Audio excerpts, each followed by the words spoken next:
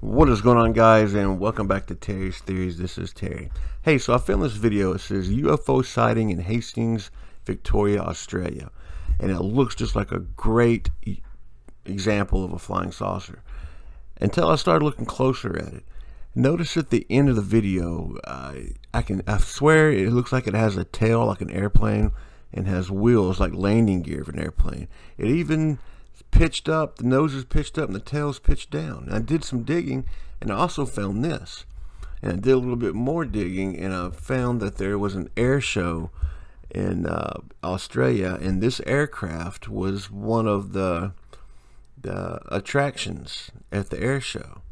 So I could be wrong, but I do believe that this sighting is actually an airplane. So you guys decide, and always remember to like and subscribe. Alright guys, this is Terry with Terry's Theories. Terry out.